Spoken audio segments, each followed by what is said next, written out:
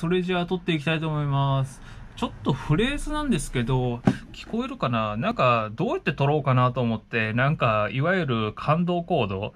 えっと、CGAmF です。やろうかなと思うんですけど、こんな感じで、みたいな感じで撮ろうかなと思います。じゃあ早速、ちょっと撮ってみて、まずは EX Pro の FA ですね。はい、じゃあ撮ってみます。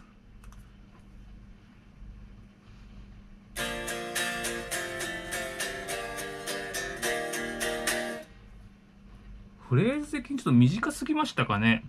とりあえず一旦、まずはこの FA が、ちょっとこの位置を、あれ？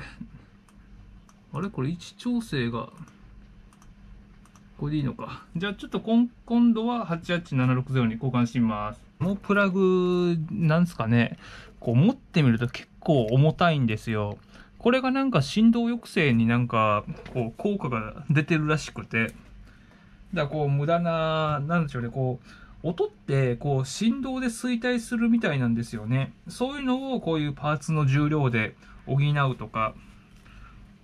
そういう重重さっていうのがこういうなんかパーツにとっても結構重要になってくるそうなので、例えばなんかプラグとか、また配線自体になんか重りをくっつけてみるっていうのも何かしらなんか効果が得られるのかもしれないですよね。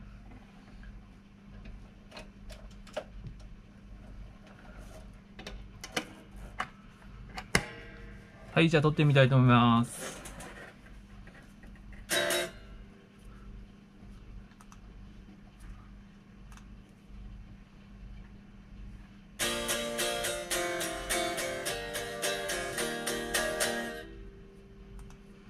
うん、とまあ今こんな感じで撮ってみたんですけど、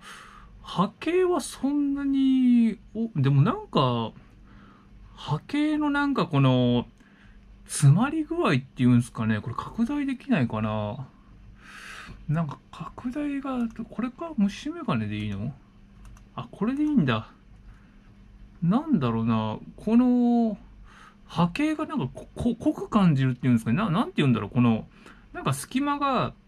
こう、おなんかギザギザの隙間が多く感じて、こっちの方はなんか隙間が詰まってなんかこの線が濃く見えてくるというか、まあただ、これ自分の引きムラもあると思うので、ちょっと全く同じに弾けたかって言ったら自信がないので、ただちょっと波形だけで見ると結構なんだろうな、でもこっちの方はちょっとややち、でもそんな変わんないよな、大きさは。なんか、波形がそんなに、なんて言うんだろう。似て、似てはいるけど、なんか、うん、まあいいや、聞いてみよう。まあ理屈はどうでもいいから、まずは聞いてみましょうか。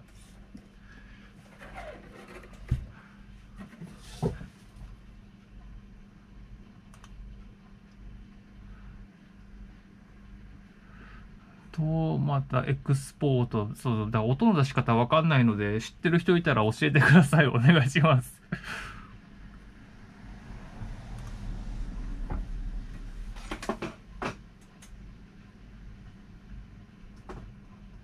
じゃあ今回はベルにしましょうか、ベルデンの。ベル1。はい、お待たせしました。毎回この保存したファイルどこに行ったんだって。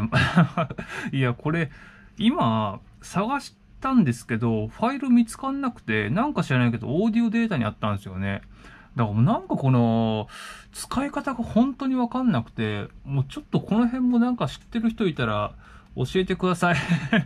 もう何もかもがわからないから、ちゃんとこうやってレコーディングできないんですが、とりあえず、じゃあ、聞いてみましょうか。じゃあ、EX Pro の方、ちょっと今音量すごい上げて、ちょっと音量調整しますね。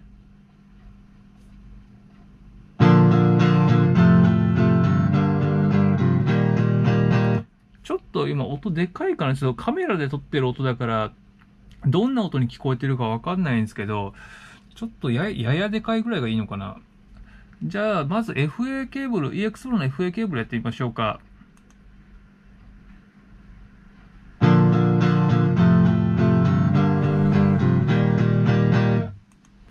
うん、、とりあえずまず最初の1回目がこれなんですけど、で、88760聞いてみましょうか。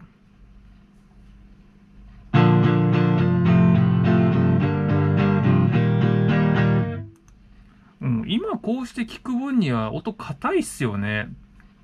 やっぱり今新しい状態だからなのか、なんだろう、どっちかっていうと柔らかさのある、この FA の方が音がいいように感じますよね、今のところ。